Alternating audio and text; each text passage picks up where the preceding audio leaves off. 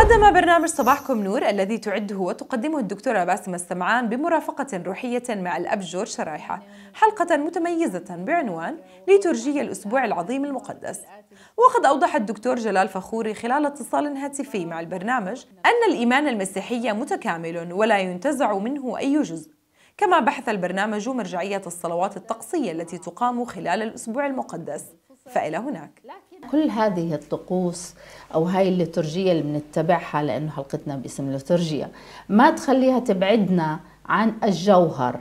نحن هذه الطقوس معادة. فإذا كان القيامة نحن نعيد هذه الذكريات. القيامة حصلت من 2023 سنة. فإحنا بنعيد هذه القيامة وبنعيد هذه المسيرة وبنعيد التذكير فيها. فهي إعادة فقط ولا القيامة أو الميلاد أو حصل وانتهى. لكن إحنا مستمرين في مسيرة القيامة مسيرة الميلاد مسيرة الفصح. تنعيش هذه الأزمنة. بالضبط. ونعيش هذه الذكريات ونعيش هذا الزمن لكي نجدد بداخلنا الإيمان نجدد إيماننا.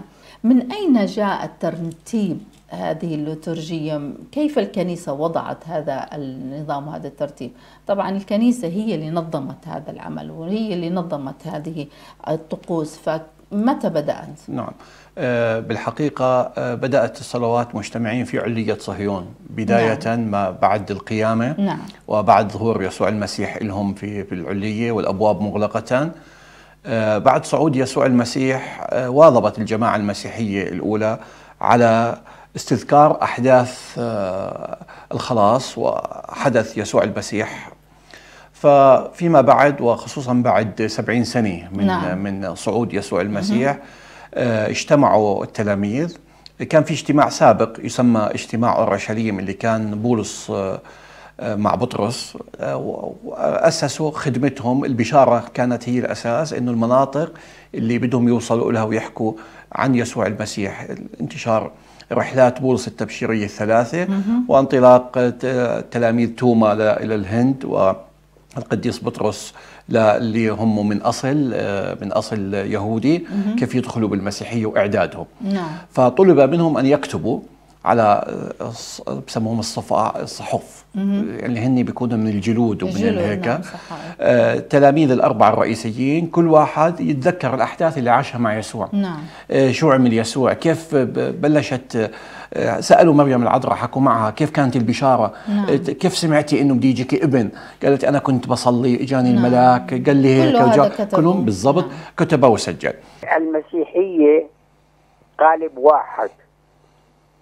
أي جزء بتفكوا منه بيخرب بيخرب الكيان بكامله. حلو. بمعنى ثاني أن ال- أن التكامل الت- التكامل والشمولية في المسيحية لا تتجزأ.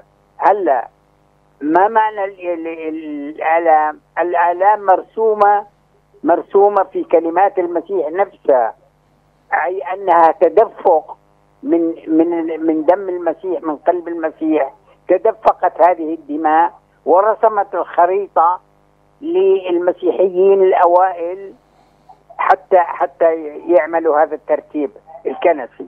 نعم. من هون أنا بقول أن جاء أن الكلمات الأخيرة التي جاءت في الآلام وفي الصلب وفي الموت هي مستوحاة أصلا من كلام من حياة المسيح اللي كان كان كل كلمة يحكيها كانوا يرتبوا عليها جزء معين من من المعنى. هلا مثلا آه، آه، الصليب يعني هل يدرك المسيحيين ما معنى جرح المسيح؟ لما قال إنه أنا عطشان واعطوا له إسفنجة إسفنجة خل مثلا هو هو لا يقصد العطشان هو يقصد إنه المحبة محبة الناس. أنا أطلب محبة الناس. هل يعلم المسيحيين مثلا لماذا اقتسموا على على قميصه على أوائي على ملابس المسيح؟ ت- يعني تعبيرا عن الطمع البشري اللي كان يتوقعه السيد المسيح. هل يعلم هل يعلم اليهود مثلا إنه لما حطوا إكليل إكليل الشوك هم هم قاصدين بهدلته لكن رفعته إلى السماء رفع رفعت المسيح إلى المجد لأنه أكليل هاء الغار لا كان يعطى دائما للأباطرة وكبار وكبار القادة.